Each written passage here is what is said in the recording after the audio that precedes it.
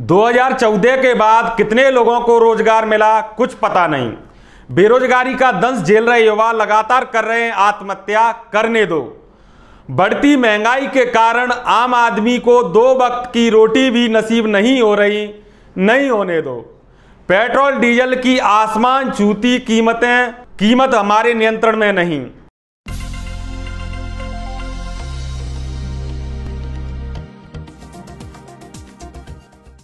नमस्कार साथियों, मैं ब्रजमोहन और आप देख रहे हैं जनित आवाज़। देश में लगातार डर और भय का माहौल बिल्कुल नहीं है, बल्कि सत्ता के लालची और जनता का खून चूसने वाले नेताओं द्वारा बनाया जा रहा है। वो भी सिर्फ़ इसलिए ताकि देश की आम जनता का महँगाई, बेरोजगारी, अपराध और जातिगत उत्पीड़न जैसे अहम मुद्दों से ध्यान भटकाया जा सके। आपको बता दें, कांग्रेस प्रवक्ता रणदीप सुरजेवाला ने एक प्रेस कॉन्फ्रेंस में एनसीआरबी, यानी कि नेशनल क्राइम रिकॉर्ड ब्यूरो के आंकड़ों का हवाला देते हुए बड़ा खुलासा किया है।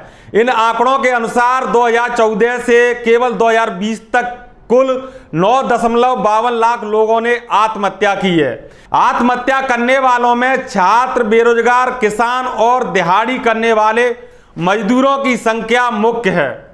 अब सवाल यह उठता है कि आखिर देश की मनु मीडिया और तमाम पक्ष और विपक्ष की पार्टियाँ महँगाई, बेरोजगारी, अपराध और जातिगत उत्पीड़न जैसे महत्वपूर्ण मुद्दों पर चर्चा क्यों नहीं करती हैं? क्यों देश की मनु मीडिया लगातार गला फाड़ फाड़ के हिजाब, मंदिर, मस्जिद, हिंदू, मुस्लिम और भोलेनाथ की लिंग के पीछे पड़े हुए हैं? मनु मीडिया क्यों नहीं डिबेट कराती बढ़ती महँगाई पर? क्यों नहीं बात करते बढ़ते अपराधों की? क्यों नहीं टटोलते युवा बेरोजगारों के मन क्यों कैसे वे नौकरी न मिलने पर मानसिक और सामाजिक दबाव में आत्महत्या करने को मजबूर हैं? देश में फल, सब्ज़ी और अनाज की बढ़ती कीमतों ने आम आदमी की कमर तोड़ रख दी है। आम आदमी की समझ में नहीं आ रहा कि आखिर वो क्या खाएँ और क्या नहीं? क्योंकि कम से कम ज़िंदा रहने के लिए तो कुछ ना कुछ ज़रूरी पौष्टिक आहार हमें खाने के लिए ज़रूरी हैं। पर यहाँ तो अपने पालतू जानवरों के पेट भरने के भी लाले पड़ रहे हैं।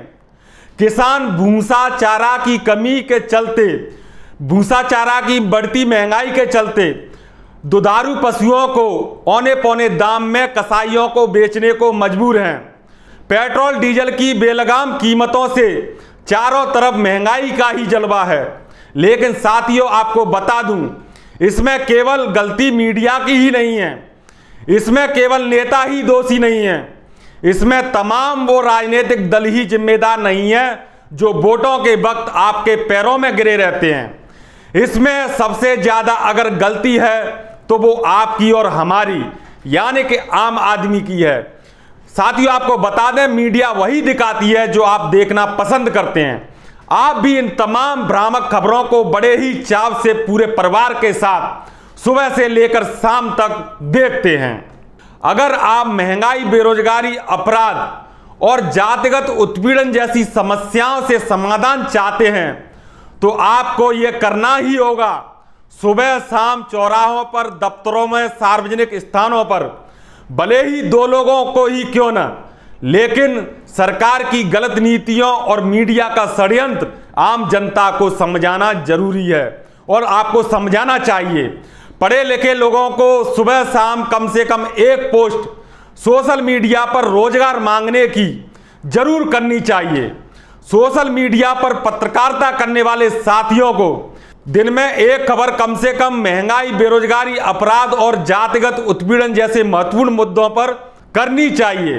क्योंकि अगर हम अब भी नहीं जागे तो वो दिन दूर नहीं होगा कि हमारे देश के नागरिकों का भी। श्रीलंका जैसे हालातों से भी कठिन हालातों का सामना करना पड़ेगा।